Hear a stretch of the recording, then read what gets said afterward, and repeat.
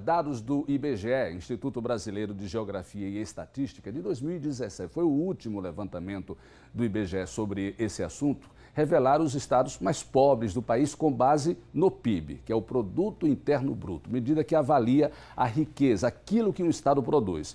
Sergipe, em todo o Brasil, aparece na quinta colocação. Para falar sobre esses indicadores, nós convidamos o economista e professor da Universidade Federal de Sergipe, o Kleber Oliveira. Obrigado, professor, Como por vai? sua presença aqui. É, Para a gente entender melhor né, esse, esses dados, o levantamento do IBGE coloca Sergipe como o quinto mais pobre do Brasil, em termos de produção, de produto interno bruto. Como é que as pessoas poderiam entender isso, em termos de pobreza mesmo? Está produzindo pouco o estado de Sergipe? Seria isso? É, o IBGE divulga periodicamente é, o conjunto de riquezas que um, que um país produz, no caso o Brasil, e o PIB é o conjunto de riquezas que o nosso país produz. Riqueza na área de agricultura, indústria, Isso. serviços, tudo, né? Isso. né? Os três setores, basicamente, agricultura, comércio, serviços e indústria. É, a, a, ideia de pobreza, ela, ela é relativa.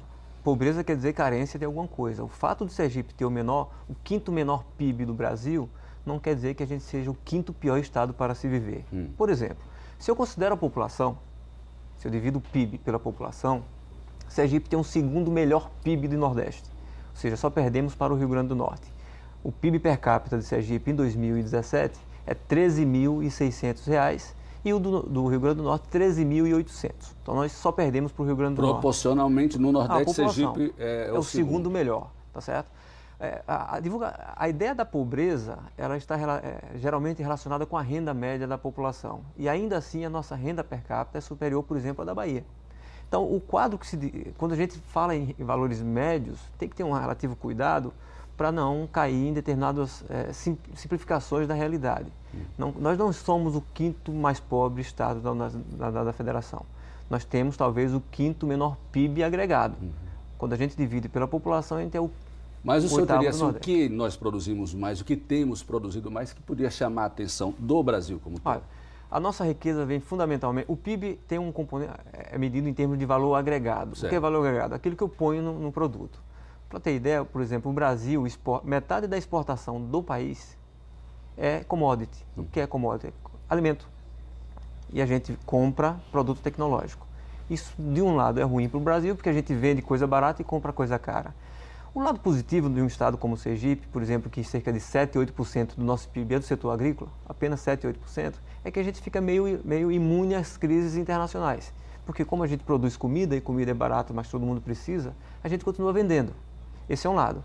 A nossa indústria, é, é, o nosso setor mais importante é comércio e serviços. Cerca de 40% do que a gente produz, do valor agregado, é comércio e serviços. Se a gente somar indústria e, e o setor agrícola, é, é o, o setor é, administrativo, serviço público é maior que esses dois. Então, o serviço público é muito forte em Sergipe. Agora, a gente teve um, um período áureo grande com, com petróleo, né, com a Petrobras aqui no estado. Depois teve uma queda e agora parece que existe uma luz surgindo com a chegada do gás aí, com a empresa que está, se instalou na Barra dos Coqueiros. Isso pode afetar diretamente o PIB de Sergipe? Pode, pode. Isso afeta muito positivamente, sobretudo o setor industrial, né? Uhum. mas também gera emprego em outras áreas. Por exemplo, comércio, serviços, o próprio setor primário, porque como se a gente atrair imigrantes para cá, a gente vai ter demanda no setor primário. Porque o PIB reflete diretamente na qualidade de vida de um povo, do, do seu povo, não é isso? Em parte. O nosso problema não é de média, o nosso problema é de distribuição, de variância. Não adianta a gente ter um PIB de 100 mil reais se isso estiver concentrado nos 10% mais ricos da população. Pra você ter ideia, os 10% mais ricos de Sergipe concentram quase metade da riqueza. Os 10% mais, mais ricos, ricos de... concentram quase metade da riqueza de Sergipe. Se a gente pensar os bairros de Aracaju, por exemplo, hum. como países, e utilizar um outro indicador, que é a esperança de vida, a gente teria que a 13 de julho é um país do leste europeu e o Santa Maria é um país do, do, do, do subsaariano. Então a distribuição é que é o, o, o X da questão, se pode, é, A distância falar. da renda média do, da 13 de julho para a, a, o bairro Santa Maria de 47 vezes. 47, 47 quase vezes. metade, né? Isso. Poxa vida. Então, a gente tem um problema grave, talvez não de média, mas de distribuição, de variância, como a gente uhum. fala na, na, na, área estatística. Mas, falando na média, qual a média do, dessa distribuição aqui do povo sergipano? A renda média de Sergipe é em torno de R$ 1.600.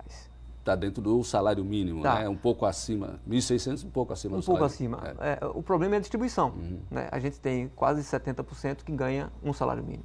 Então o assalariamento é muito forte. Mas tem um outro fator que eu queria chamar a atenção. Uhum. A gente tem em Sergipe 180 mil desempregados e mais 560 mil no setor informal. Se todos eles contribuíssem a 8% nesses 1.600, nós aportaríamos para a Previdência 1 bilhão e 200 mil em 2019. Então a gente tem um problema grave em Sergipe, além da, da média de geração de emprego, que é a informalidade. Então, o, o PIB aumentar ou diminuir, isso é uma parte da, da, da, solução. Porque a gente precisa gerar emprego de qualidade e melhorar a renda do trabalhador. É, mas aí isso é, é, quase um ciclo, né? Porque para gerar emprego, né, o Estado precisa produzir, né? Para produzir aí tem que contratar pessoas para trabalhar e pagar essas pessoas. Por isso que gira todo esse círculo aí que é, e, e vem a questão do nosso debate aqui. O que fazer? O que os governos precisam fazer para melhorar a vida? Esse é um tema central. É, a pergunta talvez seja, que todos nós nos deparamos, uhum. é, é o, quais são os caminhos para desenvolver o Estado de Sergipe?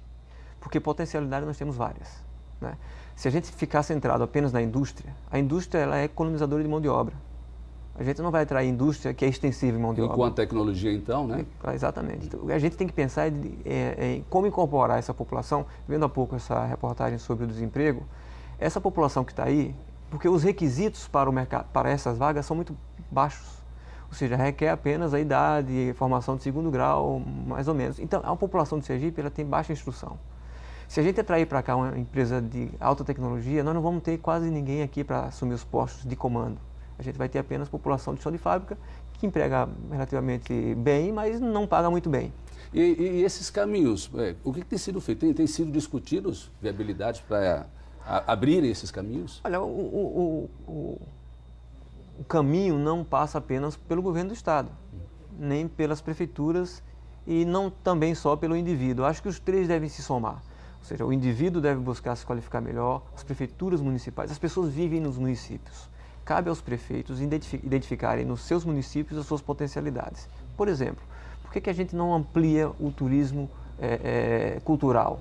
Nós temos aqui pertinho Laranjeiras, São Cristóvão e Aracaju. No entanto, os nossos museus são muito, poucos, muito pouco frequentados. É, as pessoas que vêm aqui para Aracaju e o setor hoteleiro tem crescido bastante, é, ninguém suporta ficar uma semana praia hotel. Por que, que a gente não tem, por exemplo, eu defendo isso constantemente, uma linha de ônibus gratuita especificamente para turistas, em que a pessoa tome o café da manhã em Aracaju, almoce em Laranjeiras e tome o lanche da tarde em São Cristóvão, visitando museus. Isso gera emprego local. A gente tem que tirar o foco da indústria. Não que ela seja ruim, ela é boa, mas ela, ela é para um nicho específico do mercado. A gente tem uma população, 11% da população de Sergipe é analfabeto funcional. Ou seja, não tem nem a quinta Professor, série. Professor, e, diante de, de, desse avanço tecnológico, a gente falou 180 mil desempregados em Sergipe, fora a área é, informal. Com esse avanço tecnológico, qual a perspectiva? É de aumentar muito mais ou ter, teria um outro caminho?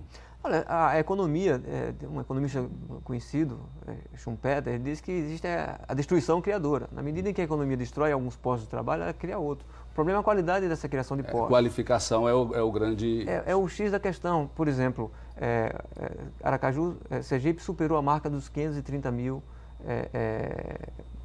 no setor informal. Tá certo? O que quer dizer isso no setor informal? Né? Como eu já falei, nós deixamos de recolher 1 bilhão e 200 milhões em 2019. E, e uma juventude aí que está, por exemplo, no mercado de trabalho informal, de entrega de alimentos, por exemplo. Para que, que serve o emprego? Para você se manter financeiramente, mas para que você é, agregue ao seu conhecimento o saber fazer, que você aprenda profissões e que você progrida na sua carreira é, é, profissional. Essas pessoas que trabalham em, em atividades que exigem pouca qualificação e não dão mais chance de crescimento, elas estão criando um exército de trabalhadores que serão daqui a pouco expulsos do mercado de trabalho. Porque elas já estão no pior grau de, de, de privação do direito trabalhista. Um jovem com a mochila nas costas entregando comida é a maior degradação que o mercado de trabalho pode oferecer a uma pessoa. Então, assim, para a gente encerrar nossa, nossa entrevista aqui, o tema básico é, foi produção né, do Estado, mas que fica de lição é se qualifique né, para ter um bom trabalho, um bom emprego. É, é esperar as oportunidades aparecerem, né? Não depende de um, de um gestor público específico. De um né? concurso público ou coisa é. parecida. É, você deve se qualificar, deve investir na maior riqueza que você tem, que é o seu conhecimento. Professor Kleber, muito obrigado, uma boa Prazer. tarde.